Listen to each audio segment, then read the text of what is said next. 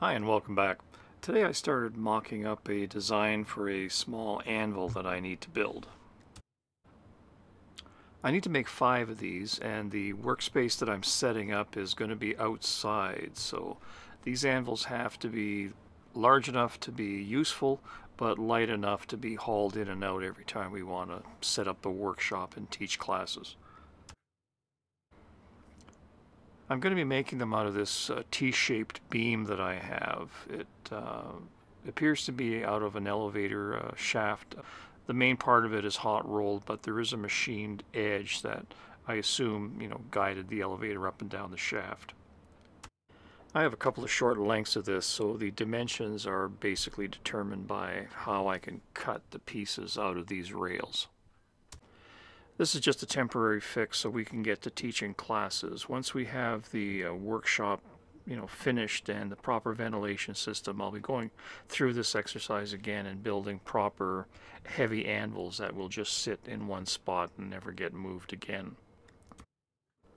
So for now, this is what I've come up with. The front and back face of the anvil is going to be made up of two short sections of this rail, and they are standing up vertically. I've cut two notches on the top of each one of these beams and that's going to allow me to insert a third piece that's going to form the face of the anvil.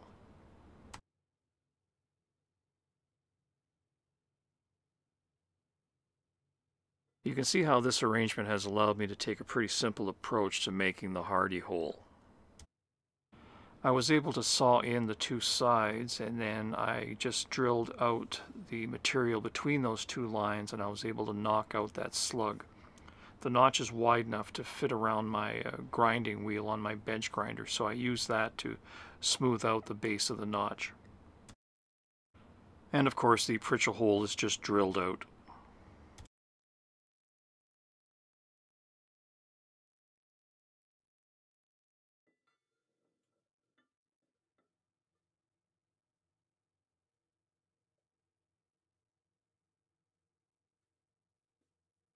The horn is just made out of a short section of heavy round bar.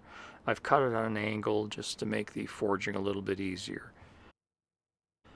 This is just a small working horn that's going to allow you to shape small projects like hooks and keychains and that sort of thing.